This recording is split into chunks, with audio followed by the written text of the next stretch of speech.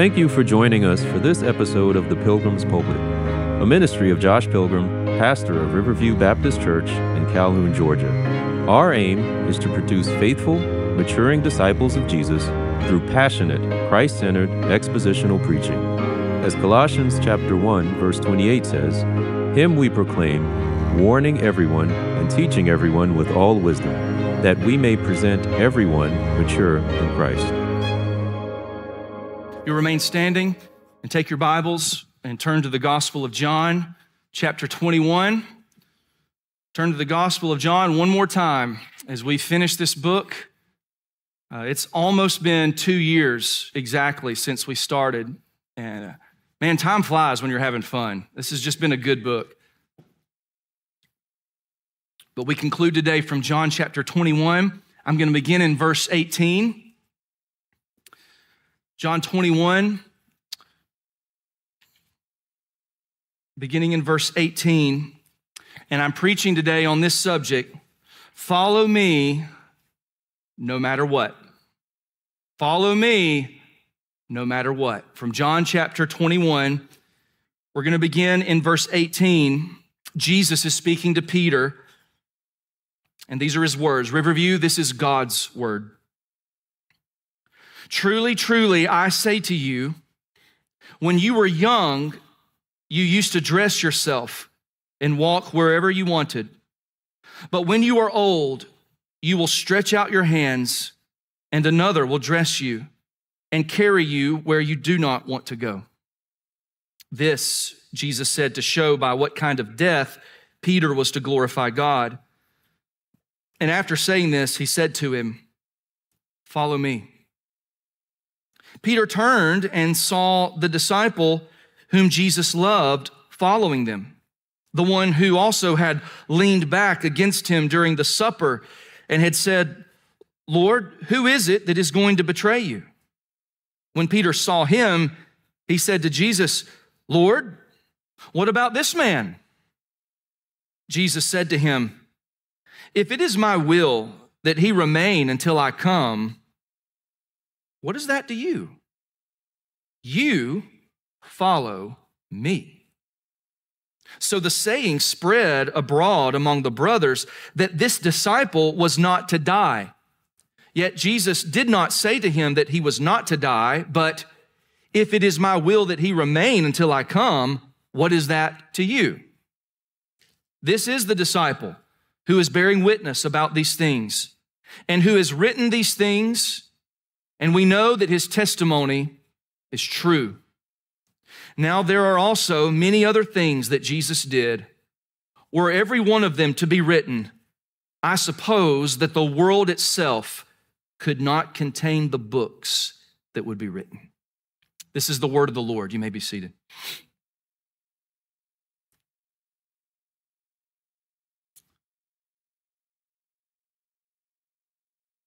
I want to begin with a question for you to ponder today.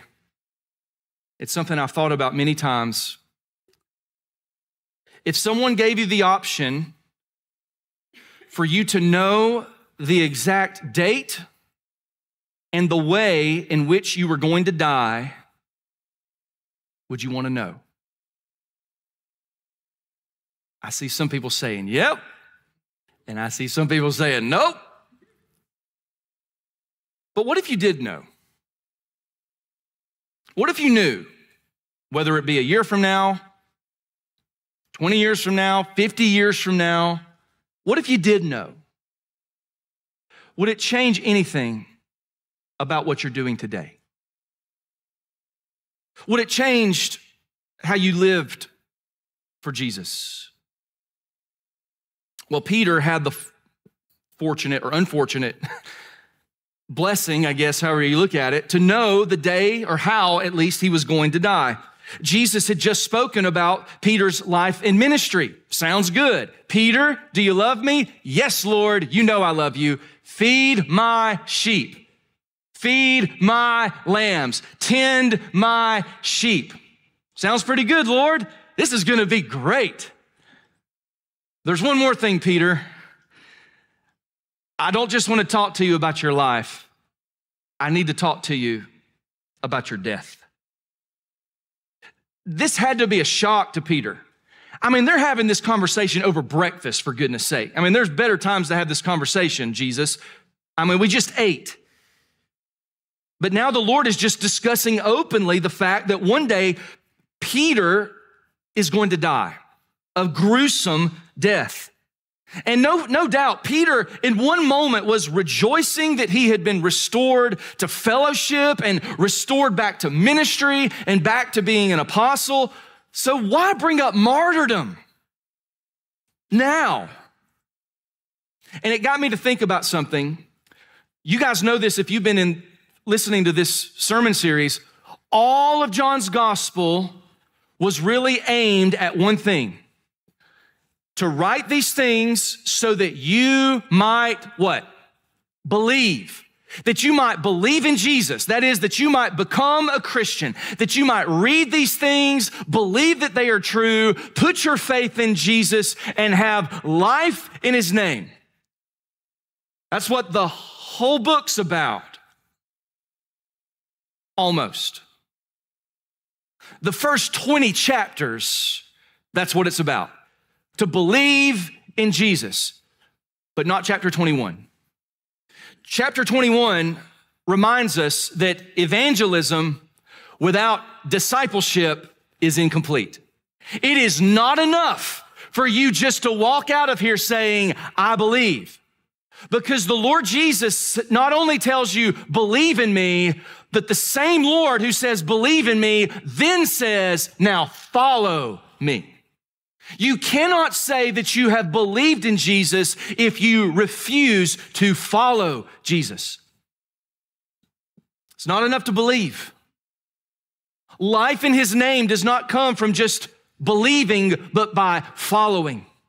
And so the last chapter moves from Peter's faith to Peter following Jesus. And it's a question every one of us in this room has to answer. Are you willing to follow Jesus no matter what? I didn't ask, did you, are, have you believed? And the question is not, have you been baptized? Are you willing to follow him till the day you die? And that's really what we want to deal with today. There's two points to this sermon, and they are very simple. The first point has to do with follow Jesus no matter what happens to you. And the second one is likened to it follow Jesus no matter what happens to others. Let's look at verse 28 or chapter 21, verse 18 and 19. Follow Jesus, first of all, no matter what happens to you. The first truth we notice here in this conversation with Peter, and we mentioned this last week, is that there is a cost to discipleship. If you're taking notes, there is a cost to discipleship. And we see the cost in verse 18. Peter is given a personal prophecy. A prophecy, a prediction about his death. Jesus essentially tells Peter, Peter, you will die. He says, Peter, one day you're going to be led by another. You're going to be dressed by another. You're going to be carried by another. You're going to be crucified against your will. While you were young, you got to go wherever you wanted. But when you are old, someone else will take you where you do not want to go. Now, we might think that that just destroys Peter. But in some way, I think that might have given him some assurance. You said, that doesn't sound very encouraging. How, how could that give assurance? Think about this. Just a few weeks before, in the crucial moment when Peter had the chance to confess Jesus, he denied Jesus three times to save himself from a cross. Peter was trying to get away from the cross. And now Jesus gives him assurance Peter, you will face the cross again. And this time, Peter, you will embrace it. You will gladly go to that cross. You will die a martyr's death for me, and your death will bring me great glory. The, the Peter who, who thought he would die in faithlessness is promised that he's going to die in faithfulness. Peter, you will not finally fall away. Isn't that good news for Peter? I mean, just a few minutes ago, he thought he was done. He thought, I've denied the Lord. I avoided the cross. And Jesus says, Peter, you will follow me and you will not miss the cross. No, you're, you are marching to the cross. There is a cost, Peter, to discipleship. One of the early church fathers was a guy named Ignatius of Antioch. Many of the early church fathers died. They in the first two to 300 years of the Roman Empire, after Christianity had been established, many Christians died for their faith. And Ignatius wrote this as when he found out he was going to die. He said, Now I begin to be a disciple of Christ. I care for nothing of visible or invisible things, so that I may but win Christ. Let fire and the cross. Let the companies of wild beasts, let the breaking of bones and tearing of limbs, let the grinding of the whole body and all the malice of the devil, let it all come upon me. Be it so, only may I win Jesus Christ. It was Dietrich Bonhoeffer who said, The call to follow Christ, when Christ bids a man to follow him, he bids him to come and die. But the call to follow Jesus is a call to die for every Christian, not just Peter. Peter's not the only one who's called to die on the cross, is he? Every one of us who claim to follow Jesus had been called to take up a cross, to die to sin, to die to self, to die to preferences, to die to your own desires. And so while Peter gets his own personal prophecy, I think all of us must consider the path of persecution. We must all consider are you willing to pay the price to follow Jesus? One of my favorite preachers who's dead was Leonard Ravenhill.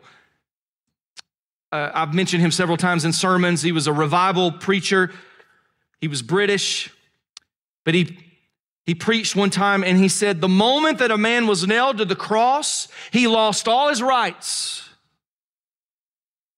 And if you ever get nailed to a cross, you'll lose all your rights too. Peter knew what it meant to go to a cross. You have no rights. And Peter knew he had died to himself, and every one of us has to ask the question are we willing to embrace persecution and suffering, and yes, even death to follow Jesus? Peter knew the cost. And he willingly gave up his life for Christ because when he wrote the book of Second Peter, do you know how he introduced himself? In Second Peter chapter 1 verse 1, he said, "I am Simon Peter, a servant and an apostle of Christ Jesus." He doesn't start with his title as an apostle. His first introduction was, "I'm a servant of Jesus Christ." He put his servanthood before apostleship. He doesn't cling to any title because, first and foremost, Peter considered himself to be a slave to Jesus. His title and his position did not abstain him from suffering and death. He lost all of his rights when he followed Jesus and he surrendered his life to Christ. And if you follow the Lord Jesus, you will lose your rights and your claims to your own way. You will be a servant to the Lord Jesus who holds your life in his hand. That's the cost of following Jesus. And I would ask you to consider it well. And if you count the cost and you consider it worth the price, then take up your cross and follow Jesus. And there's good news here. Peter knew this. In 1 Peter 4, verse 19, he said, Therefore, let those who suffer according to God's will entrust their souls to a faithful Creator while doing good. Your life is not in your hands, and you ought to thank God for it. Your, ha- your life is in God's hands, and He is good, and you can trust Him. That's the cost. There's a cost to discipleship, there's also a call to discipleship. When Jesus tells Peter in verse 19, Follow me, the tense, the verb tense is a present tense, meaning keep on following me. That is, don't just follow me once. Don't just follow me for a month. Don't just follow me for a year, but keep on following me, Peter. It, it's a call to persevere, a call to endure to the end. Remember, Jesus had already told Peter three years before to follow him. You guys remember Matthew 4, verse 19? He tells Peter, Drop your nets, follow me, and I will make you fishers of men. That call hasn't changed. Three years later, it's the same thing. Peter, follow me. I know I told you once, but I'm telling you again keep following me. And, and maybe you've been discouraged in your walk with the Lord Jesus. Maybe it's been tough for you lately. And maybe this morning the Lord wants you to hear, keep following me, which means we have to pursue perseverance. Now, how do you do that? How do you persevere in, in the midst of a world that, that stands against you? In a world where you're battling sin and you're battling temptation? When you're battling the grief of the loss of loved ones, when you're battling the, the heartache of, of sickness and disease and the pain of suffering, how do you persevere? Well, the scripture tells us how, all throughout the Bible. You first have to embrace endurance in the race that you're running. You fix your eyes on Jesus, the author and finisher of your faith. You cultivate character through trials. Lanny spoke in our men's breakfast this morning from the book of James about counting it all joy when you fall into various trials because it is testing that produces perseverance. Or Romans 5, verse 3 rejoice in suffering, knowing that suffering produces endurance. Endurance produces character, character produces hope. How do you, how do you endure to the end? You keep serving. 1 Corinthians 15, verse 58. My beloved brothers, be steadfast, immovable, always abounding in the work of the Lord, knowing that the, in the Lord your labor is not in vain. Keep serving because your work is not wasted. How do you endure to the end? You focus on the reward. Galatians 6, verse 9. Let us not grow weary of doing good, for in due season we will reap if we do not give up. Don't give up. How do you endure to the end? You trust God for His grace. 2 Corinthians 12 9, my grace is sufficient for you, for my power is made perfect in weakness. There's a call here to persevere, to, to pursue perseverance, but there's another way that we endure to the end. We have to prioritize God's praise. Remember who you're living for. Remember why you're living. Look at verse 19. I'll, I'll show this to you in the text. Verse 19. This Jesus said to Peter how he was going to die to show by what kind of death he was to glorify God. Guys, the, the call to discipleship is to live a life from beginning to end that glorifies God, to live for God's praise. You are not living for yourself. And that ought to help you get to the finish line.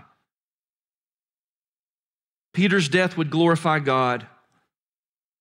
And when you die to your own desires and when you submit to Christ, when you follow Him, even in the midst of suffering, even when life is crumbling in on itself, even when everything's falling apart and you still follow Jesus, you show to the world that God is greatly valued, that He is worth losing everything for the sake of Christ. You show God to be great when you follow Him, especially in trials. There's a, a cost to discipleship, there's a call to persevere in discipleship, but this is also a command. Before we move to verse 20, I just want to point out this is a command. He tells Peter, Follow me. That is, follow. Don't get ahead of me. You're not the leader, Peter. You're not in charge. I'm the shepherd. You're the sheep. Know your role, know your position. Let me go ahead and lead you, and you follow me. Follow. But then he says, Follow me. Don't follow a preacher. Don't follow a pastor. Don't follow a teacher. This was the problem in First Corinthians. Some said, I follow Peter, and I follow Apollos, or I follow Paul, or I follow Christ. There's no division in the body of Christ. We are all following Jesus. And, and I think this just keeps it so simple for us. It's a simple command follow me. That's all you got to be focused on. Follow me. It's not an option for the Christian. It's not an option for you to say, well, I, I, trusted Jesus as my Savior. I believed in Him as my Savior, but I haven't yet trusted in Him as my Lord. By the way, there's a teaching out there that teaches that. They deny lordship salvation. They say, well, you can actually be a Christian and have Jesus as your Savior, but not have Him as your Lord. We got a good word for that. Hogwash. You thought I was going to say heresy. It's heresy too, but it's hogwash, or the Greek word. Uh, that's the word for it. There's, that's, that's not what it means to be a Christian. If you are a Christian, you are a follower of Jesus. That's what the word means. So don't deceive yourself and think I can I can trust in Jesus and have all my sins forgiven but then live however I want to. Friends, that will lead you to hell. Follow Jesus. So the point here Jesus is saying is follow me no matter what happens to you. No matter what happens to you. If you get sick, follow me. If you get a promotion at work, follow me. If you lose your job, follow me. If you get married, follow me. If you lose your spouse, follow me. If you're still single, follow me. If you get a bad result from the doctor, follow me. If you lose your health, follow me. If you lose your retirement, follow me. No matter what happens to you, Jesus is saying, follow me. And Peter thinks he's got it, but he doesn't. because there's a second thing we have to learn here, and it's not only follow Jesus no matter what happens to you, we got to learn, we got to follow Jesus no matter what happens to anybody else. Now, that's all we got to do to get started. Just follow. That sounds simple, doesn't it? All we have to do is keep going through the valleys and the mountains we face, just follow. All I have to do to finish is to follow. One step at a time. You get started by following, you get to the end by following. Oh, but Peter doesn't make it two steps.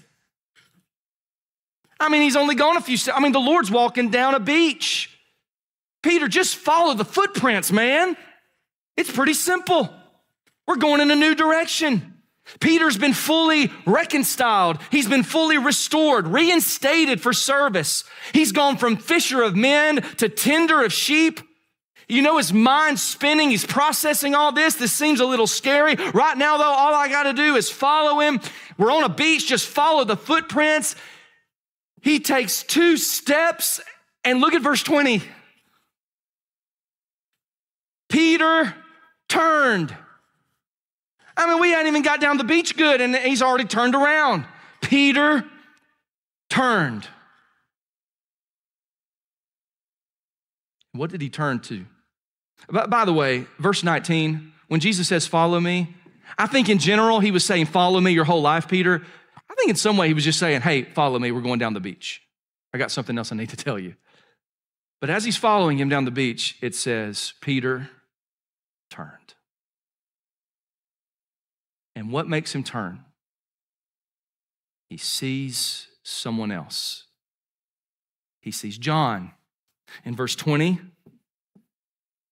it says he saw the disciple whom Jesus loved following him, the one who also had leaned back against him during the supper.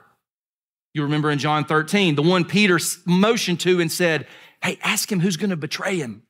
That, that John. This just shows there's intimacy between John and Jesus. There's also intimacy here with Peter and John. I think there's camaraderie here. I think they love one another. Peter's kind of older brother to little brother John, and John's, John takes some digs sometimes. John wants everybody to know I won that race to the tomb. I'm faster than Peter. He's always pointing out the things Peter does. And I think Peter loves John, but I think when Peter looks at John, notice what he asks him. In verse 21, when Peter saw him, he said to Jesus, Lord, what about this man? What about him? I hear that at my house a lot. Someone else gets in trouble, they immediately look to the sibling. What about her? What about him? It's not fair. And I know we laugh about our kids doing that. Oh, but we do the same thing, don't we? Something goes wrong in our life, and we look at our neighbor down the street who seems to have it all together, and we say, Lord, what about them? Why am I going through this? How often do we lose our stride in following Jesus because we are focused on others?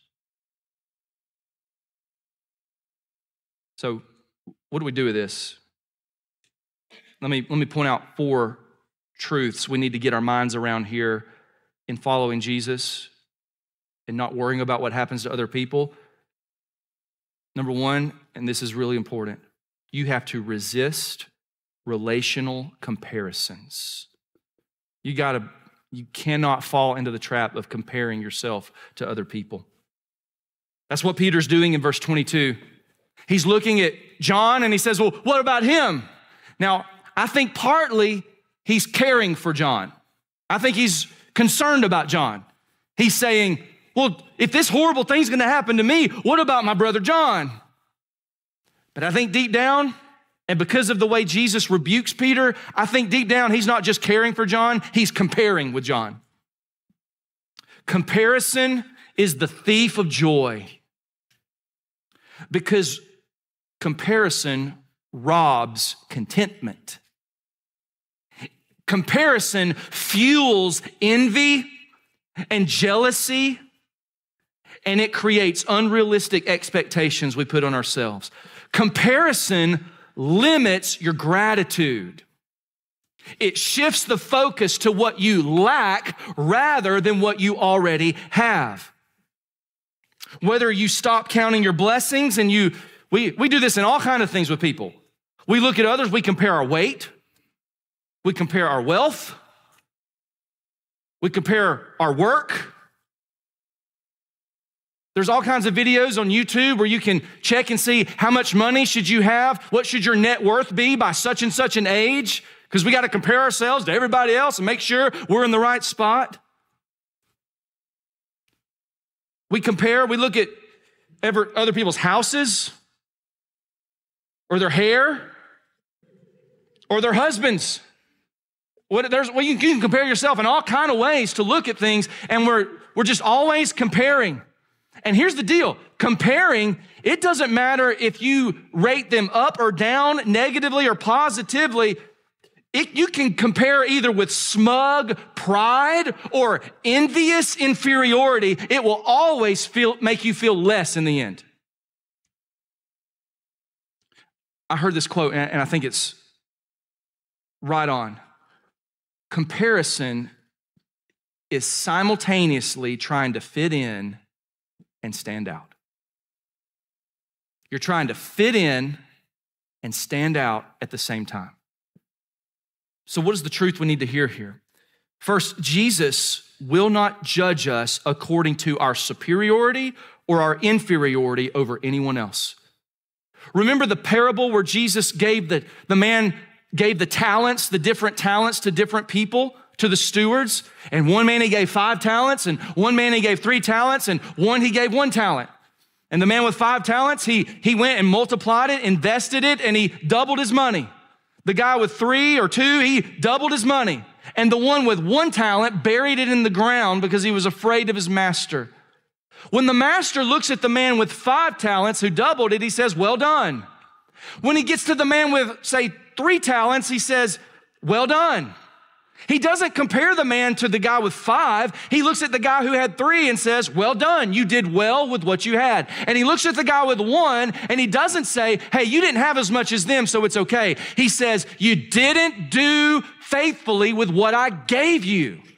He's judged by what he had, not by what he didn't have. He's not judged by what others did, he's judged by what he himself did with what he had been given. And so Jesus is not judging you based on the performance of other people. He's, he's going to judge your life based on what you did with what you've been given. So let me just encourage you today, several ways. First, do not be disheartened if someone else is more educated than you. Do not be discouraged if someone may preach better than you or have different spiritual gifts than you. Don't be dispirited if someone is more successful than you. Do not be depressed if someone knows scripture better than you. Don't be downcast if someone seems more spiritual than you. Don't be dejected if someone is more gifted than you. There are all kinds of ways you can look at people in the body of Christ and get really down on yourself because you say, Well, I'm not where they are. And if you have that mentality, you'll never serve the Lord faithfully. If you're always looking at other people and what they have, you're just, you're not going to be effective as a follower of Jesus. No, Jesus will not judge us by how inferior or, or superior or inferior we are. Jesus will judge us by how faithfully we follow him. There, there's a big push on social media, and it's been going on for years. And the question that people want to know is how many people are following me? How many followers do I have? But meanwhile, the Lord of the universe wants to stop you in your tracks, look you in the eye, and say, What matters is not how many are following you, but how closely are you following me? You follow me. That's what Jesus says to Peter in verse 22. Jesus said, If it is my will that he remain until I come, what is that to you? You follow me. God is never going to ask, Why were you not more like him or her? God is not going to compare you with anyone else. He is molding you to be more like Jesus. And that happens when we follow him. So let me give you just a few more encouragements before we move on. First of all, do not look up at those above you to make you feel worse. Don't look up and say, Boy, I wish I had what they had. You'll be miserable. On the flip side, do not look down on those below you to make you feel better because it won't. Might make you feel better for a minute, but it, it's empty. Here's the truth if you compare with others, you will never be content. Contentment is such a big theme in the Bible. In fact, in Philippians, the verse that we usually always take out of context, Philippians 4:19, I can do all things through Christ who strengthens me. You know what the context of Philippians 4 is? Contentment. Peter said, or uh, Paul says, I've learned to be content in all things, whether I have little or have much, whether, whether I have a lot or I have nothing. I've learned to be content in all things. In fact, I can do all things through Christ who strengthens me. How do you learn to be content? In Christ. If you compare with others, you'll never be content. So instead of competing with others, just count your blessings. Count your blessings and follow Jesus. So, this is the first idea that we see resist relational comparisons. Resist the urge to compare yourself to others. Number two, remain resolute in your calling. Remain resolved to follow Jesus no matter what. By the way, this is not the first time that Peter took his eyes off Jesus, is it? This was a nasty little habit Peter had. And it's not just Peter. I mean, we all have this habit of taking our eyes off Jesus and focusing on other things. Let me just remind you of other times in Luke chapter 5, verse 8, when Jesus calms the storm, Peter takes his eyes off Jesus and he looks inward at himself and he only sees his sin. He doesn't see the mercy and grace and power of Christ, he only sees sin. In Matthew 14, in another storm, he, call, he comes out of the boat and he starts to walk on the water, but he takes his eyes off Jesus in the storm and he starts to sink. When he gets his eyes off Jesus, and now he takes his eyes off Jesus on this beach to look at John, and he starts to stray. Peter turned. Don't turn. What did Jesus say about the kingdom of heaven? He said, It's like a man with a plow, plowing straight ahead. And when you plow, where does he say, Don't look? Don't look to the left or the right. Anyone who looks to the left or the right or anyone who looks back is not fit for the kingdom of God.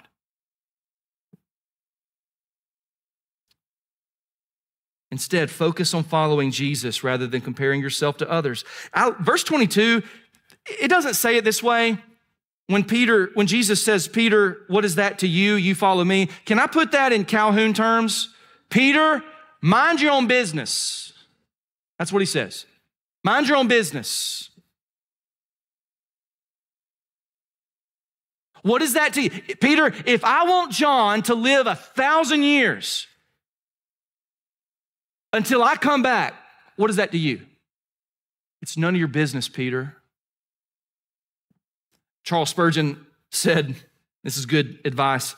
He said, I have come to the conclusion that instead of trying to set all of the Lord's servants right at once, my first and most important work is to follow my Lord. And I think, my brothers, that it would be wise for you to come to the same conclusion. Don't worry about other people. You follow me. Paul said this in Philippians 3 13. Brothers, I do not consider that I've made it my own, but one thing I do, one thing, forgetting what lies behind and straining forward to what lies ahead, I press on toward the goal for the prize of the upward call of God in Christ Jesus. You know what I like? Simplicity. Keep it simple for me, Jesus. Just give me one thing to do. And Paul says, one thing I do. I look, I forget what's behind and I look forward to the call of God. Isn't that simple? That's, a, that's an easy thing. Just focus on Jesus.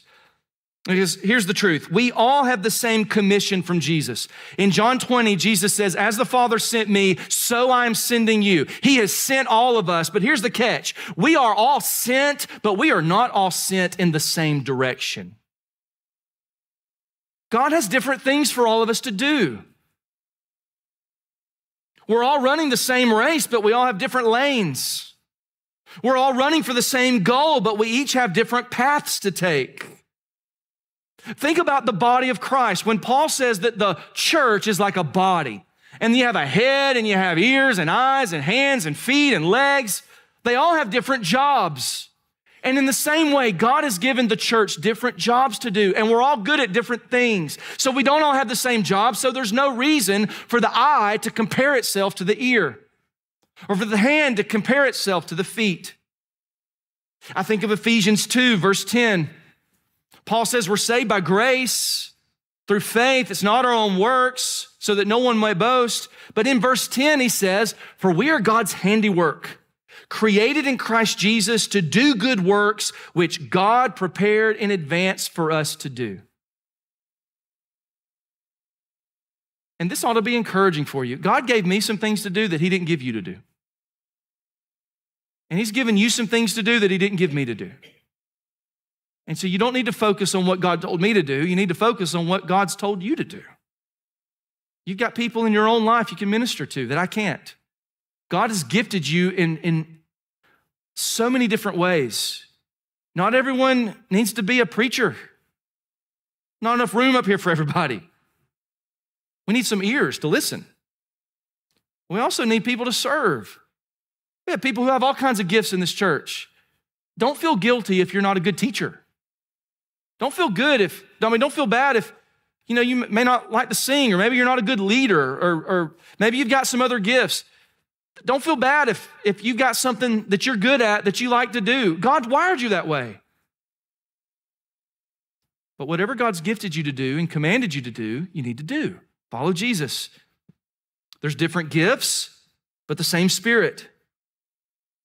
And, and even with Peter and John, Peter's going to serve Jesus by preaching and teaching, feeding the sheep, and by dying to glorify God. John is going to glorify God in a different way by writing these things down and being a faithful witness so that people can believe what he's written and have life in his name. Now, I want to point out something really quick before we move on. In verse 23, we this shows us how easy it is for people to twist the words of Jesus. In verse 23, John has to clarify something. Verse 23 So the saying spread among the, among the brothers that this disciple was not to die. Yet Jesus did not say to him that he was not to die, but he said, If it is my will that he remain until I come, what is that to you? This is important. There were people that thought, Oh, Jesus said John's not going to die until Jesus comes back. Well, what would that have done to their faith when John died?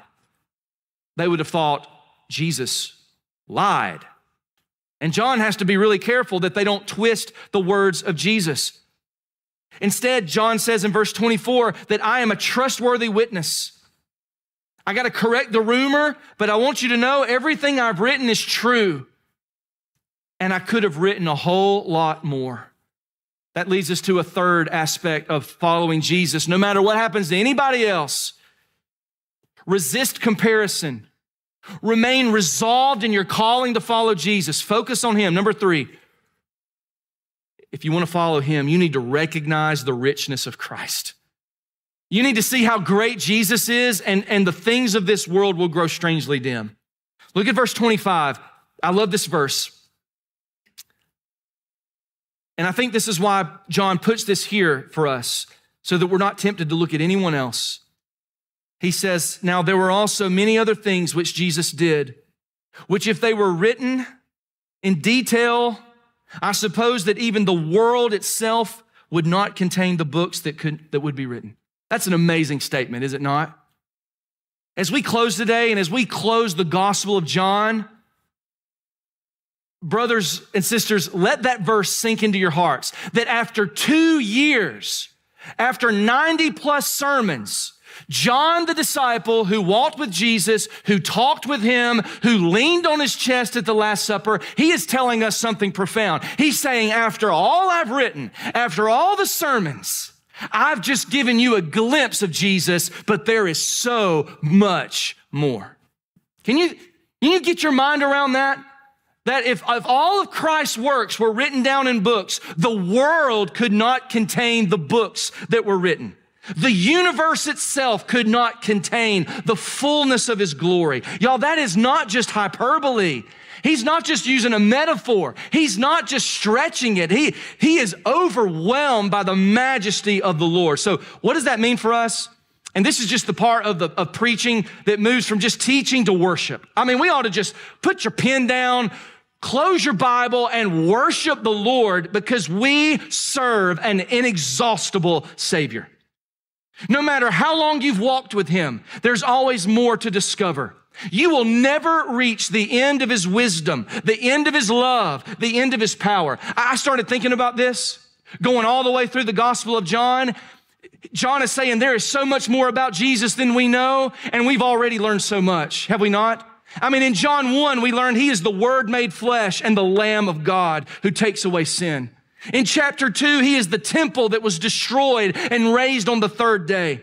In chapter three, he's the son of man lifted up on a pole, and he is the great bridegroom of the bride of Christ. In chapter four, he's the savior of the world. In chapter five, he is Lord of Sabbath, and he is the final judge of all the earth. In chapter six, he's the bread of life. In chapter seven, he was the living water. In chapter eight, he is the light of the world. In chapter nine, he is the one who opens the eyes of the blind. In chapter 10, he's the good shepherd. In chapter chapter 11, he is the resurrection and the life. In chapter 12, he's the king of Israel. And yet in chapter 13, he is the humble servant who washes his disciples' feet. In John 14, he is the way, the truth, and the life, and no man comes to the Father but through him. In John 15, he is the vine, the true vine. In chapter 16, he is the one who has overcome the world. In chapter 17, he is the one who was sent to the world, and yet he is the great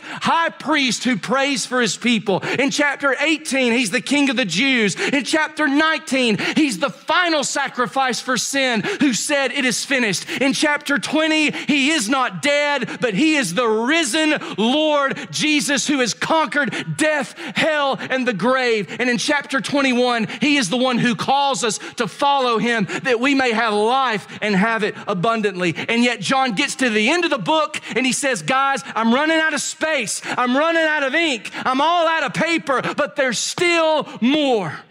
And the many other things that Jesus did includes what he did for the disciples after he was gone, the book of Acts in the church. And for 2,000 years, Jesus has not stopped working, and all the books and all the libraries of the world could not contain it. We serve an inexhaustible Savior. Oh, but I'm not done. We worship an indescribable Savior. Y'all thought I was done. I'm not. No, no, there's more. There's more. All the dictionaries cannot define him. The encyclopedias cannot exhaust him. All the libraries cannot limit him. All the hymnals cannot hold him. The theologians can't fully fathom him. All the philosophers can't fully comprehend him. Artists can't fully capture him. Poets cannot fully express him. Historians cannot fully chronicle him. Scientists cannot fully explain him. All the scholars cannot fully analyze him. And all eternity cannot fully reveal him. Could we with ink the ocean fill, and were the skies of parchment made, were every stalk on earth a quill, and every man a scribe by trade, to write the love of God above would drain the ocean dry, nor could the scroll contain the whole, though stretched from sky to sky. For in Christ, all the fullness of the deity dwells in bodily form, and his riches are unsearchable. His love is unfathomable, his grace immeasurable, and his glory incomparable. Hallelujah, there's nobody like Jesus.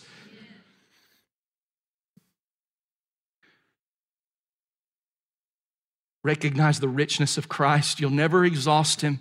You'll never get to the bottom of that well. If you follow Jesus for a year, if you follow him for 70 years, you'll never get your mind fully around him.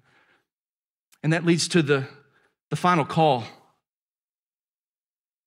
respond to the Redeemer's call. I mean, this is the last sermon in John, and for two years I've pleaded with you. John has pleaded with you. Believe in him, follow him. And now, one more time, Jesus is saying, Follow me, follow me.